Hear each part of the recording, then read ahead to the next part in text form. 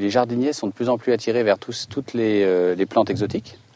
Mais auparavant, il faut essayer de. Nous, on veut vraiment, de façon professionnelle, tester, savoir celles qui résistent dans notre région, sous nos climats. Et, donc, c'est pour ça qu'on a mis en place, pour pas vendre n'importe quoi et pour être sûr de ce qu'on fait, bah, cet espace d'expérimentation euh, euh, pour les plantes euh, exotiques que l'on acclimate chez nous.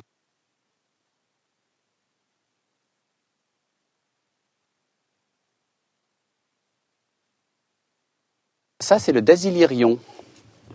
Hein, c'est une plante euh, très épineuse euh, qui pousse. En général, c'est une plante euh, désertique. Hein. On a aussi l'Eriobotria japonica, le néflier du Japon.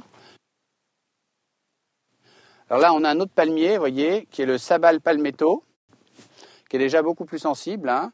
Alors on l'a un petit peu protégé simplement en l'isolant des coups de vent. Et on voit bien que là aussi, il n'est pas mort, mais les feuilles extérieures ont, pris quand même un bon coup de gelée le chêne liège en fait. Et ça, en décoratif, c'est magnifique dans un jardin. Ça, c'est le calistémon. Euh, ça s'appelle euh, aussi le rince-bouteille. Parce qu'il y a des fruits comme ça en forme d'écouvillon un petit peu.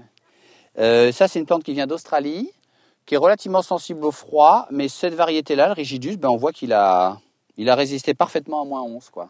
Parce qu'il a, a été bien endurci cette année. L'arbutus ou l'arbre aux fraises. Ça forme des, des petits fruits euh, qui sont comestibles. ça, c'est, la, c'est une fougère en fait. C'est une énorme fougère, une fougère arborescente, la Dixonia antarctica.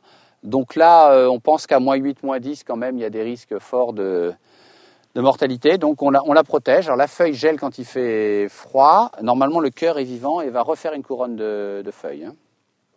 C'est une agrume, ça. C'est de la famille des orangers c'est le pont Cyrus. Alors c'est bourré d'épines, euh, mais ça, ça résiste. Ben, on voit bien que ça résiste parfaitement à une agrume qui a résisté à moins 10. Quoi.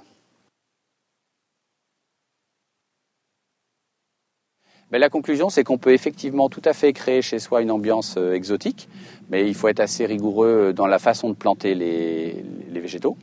Donc surtout ménager des, espaces à la fois des buttes bien ensoleillées et très drainantes, et puis euh, bien sélectionner ces végétaux.